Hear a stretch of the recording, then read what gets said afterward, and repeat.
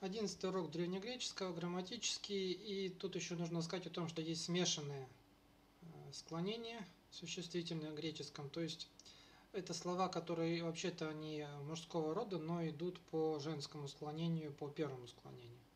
Причем артикль к ним идет мужского рода, поэтому артикль, естественно, по второму склонению к ним будет идти. Кроме того, они имеют определенный признак э, мужского рода, именно они имеют все-таки окончание «с» в именительном падеже. А все остальные окончания у них как вот в женском склонении в первом. Ну вот, допустим, профетес, пророк, да? То есть, если бы это было женское, да, то было бы профете, да? Что-нибудь вот такое без «с». Но это мужское слово, профетес, к тому же оно идет с «го», то есть «го профетес». И тут нужно быть внимательным, то есть артикль меняется по второму склонению, а само слово по первому. Э, также вот слово неониас юноша можно посмотреть. Вот он тоже типичное изменение для э, слов э, первого склонения, которые вот на «а» кончаются. А профетес изменяется как слова, которые кончаются на «эту», то есть на «э» долгое.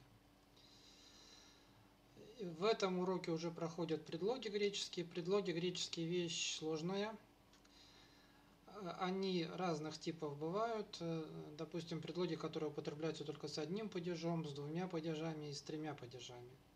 В греческом мало падежей, а предлоги многозначные и меняют свое значение в зависимости от соседнего падежа. Это часто может создавать определенную неопределенность, которая, кстати, повлияла на интерпретацию Библии. То есть в Библии некоторые вещи спорят из-за них христиане – а там просто вот именно непонятно что, потому что предлог многозначный и даже падеж не сильно это и уточняет значение. А, тем не менее, нужно иметь в виду, что обычно, когда предлог означает, что что-то находится где-то и не движется, то обычно там падеж дательный. Это такое правило, которое вот помогает запоминать, по крайней мере. Да? Если предлог означает что-то, что движется вот во что-то, да, допустим, вхожу в дом – то он значит, управляет винительным падежом. То есть дом будет в винительном падеже. Вхожу в дом. Если движется от, допустим, выхожу из дома, да, то дом будет в родительном падеже. То есть неподвижное дательный, движение туда винительный, движение оттуда родительный. Вот. Это такая принципиальная вещь, но вообще предлоги довольно сложные греческие. Теперь уже отдельные слова характеризирую. Ангелос, ангел, понятно. Аго виду, такое же слово в латыни. Ну, можно агитация, допустим, да, куда-то куда-то вводить, да, в какой-то блудняк, агитировать. Аго виду. А по легкий предлог это от, и оно идет с генетивом, потому что движение от чего-то это генетив.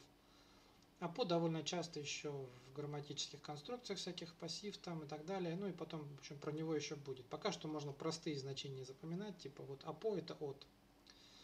Баллу бросаю, не знаю как запомнить. Бол, мячик по-английски, наверное, вот так можно запомнить. Э, баптистес, креститель, баптист, тут понятно все. Диа, э, сложный предлог. Диа, если он идет с генетивом, он означает, что эта штука движется через что-то, через вот то, что генетивом обозначено. А если он идет с аккузативом, то это значит, что эта штука происходит, и она каким-то образом причинно-следственно связана вот с тем, что в аккузативе.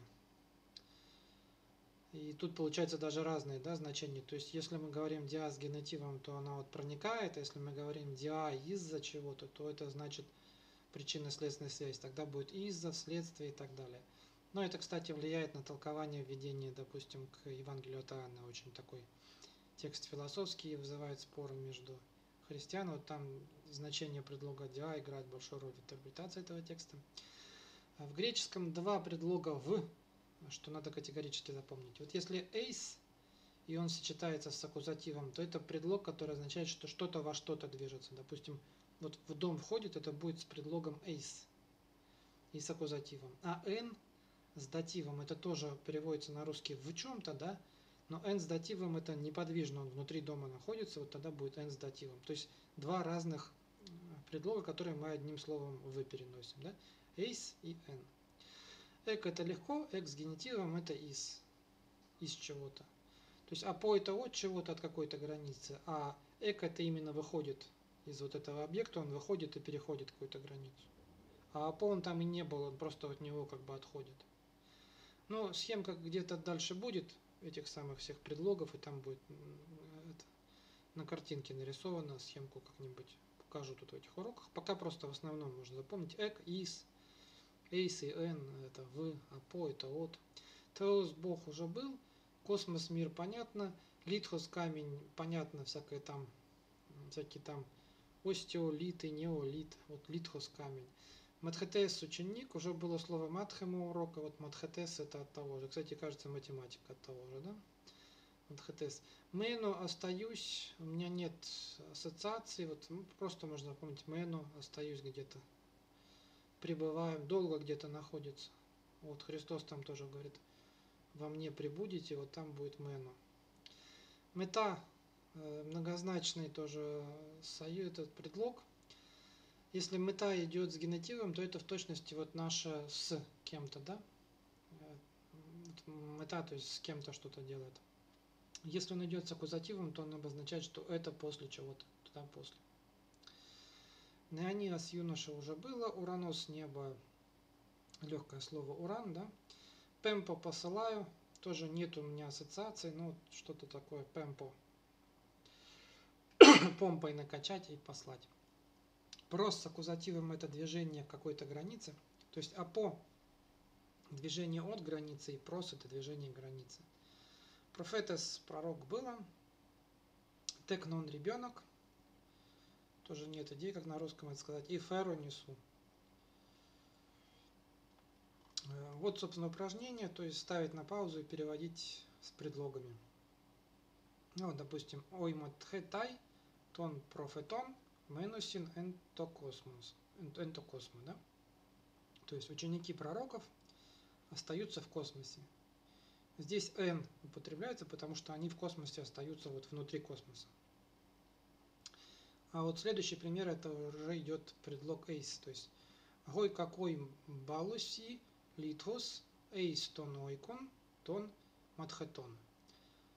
Какой-то плохой человек, в данном случае субстантивация, гой какой, какой-то плохой, а, а какие-то плохие, да, то есть множественное число, ой, какой, какие-то плохие люди, балуси кидают э, литхус, камни, в дома учеников. То есть вот тут камни движутся вовнутрь дома, поэтому здесь не n, а эйс. Отреос пемпейтус ангелус эйстон космом. Ну, вот тут понятно, да, что Бог посылает ангелов в мир, в космос, и здесь вот тоже Эйстон Косман, потому что они, значит, в мире не были. Вот из этой фразы что следует? Что они не были в мире, и они переходят эту границу. То есть вот заходят уже в мир, а до того, значит, они не были в мире. И за этими значениями предлогов нужно очень четко следить в греческом, особенно в Новом Завете. Неправильно понимаемый предлог меняет весь смысл фразы совершенно. Ну и также вообще в философских текстах Аристотель, Платон и так далее. Они многозначны, поэтому тут точно нужно руку набить на развлечение значений предлогов.